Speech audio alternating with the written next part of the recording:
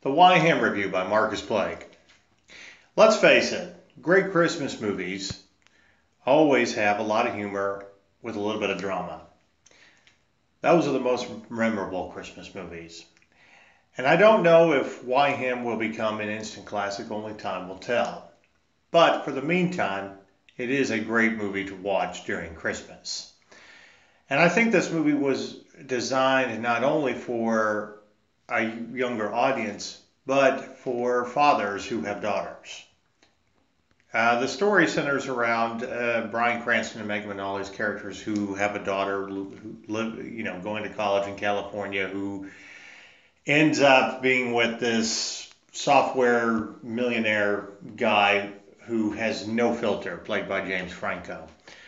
Uh, it's a raunchy comedy, uh, much in the vein of like Bad Santa. Uh, but it does have a heart of gold at, at the within its plot.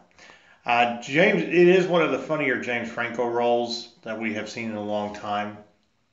Um, but again, it's it's a raunchy comedy uh, because his character just can't seem to filter or anything he says or doesn't have any tact. Uh, tact.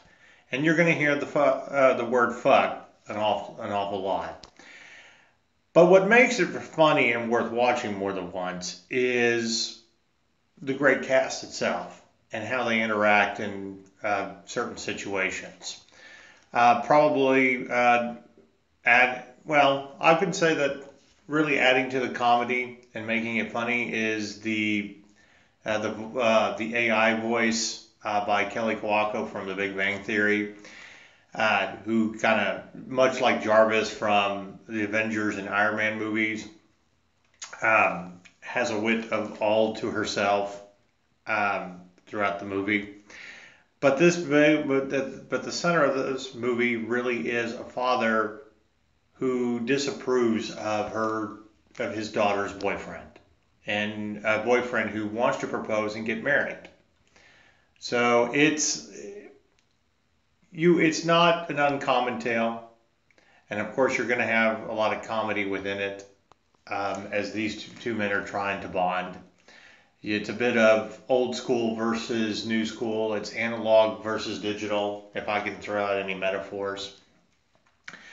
Uh, but having the presence of Megan Mullally in there, especially when she is drunk and high, uh, you get a little bit of Tammy from Parks and Recreation. Uh, and let's and let's face it, Bryan Cranston can do comedy. He is funny. So uh, whether it turns out to be one of the great Christmas movies that you watch, like Christmas Vacation, as I said before, only time will tell. But I definitely think that this is a a rated R family movie that you know, especially fathers and daughters could actually work together and uh, watch together and laugh. Um, and I think that's the way, that's what they were intending with this movie, uh, you know, originally. Um, there's a lot of great uh, comedy within it, physical comedy, uh, but it, you know, it the plot isn't anything that you're going to really have to think about uh, as with you know most comedies to begin with, just like Christmas Vacation. Uh, the plot you can pretty much figure out what how how the movie is going to end, but how all of these characters interact with each other um, is very is is hilarious.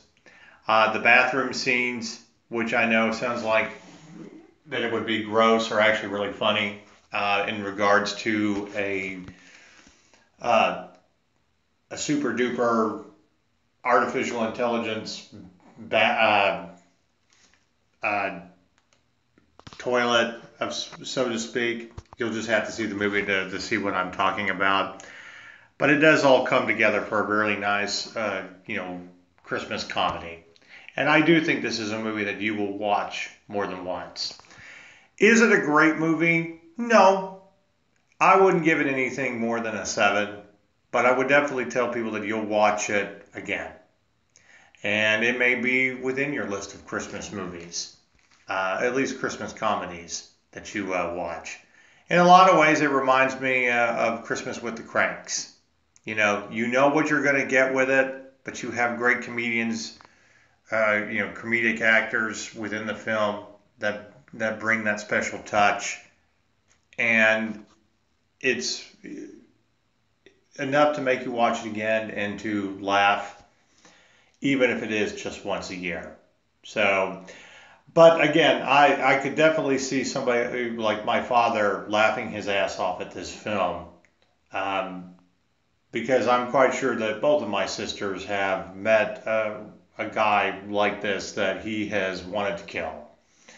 Um, so kudos to the writers for touching upon that nerve and crossing different generations. So, but really, at the end of the day, this movie is nothing more than a seven out of ten. It's just an okay film, um, and it prob- and with its simplistic plot, couldn't be any greater than that.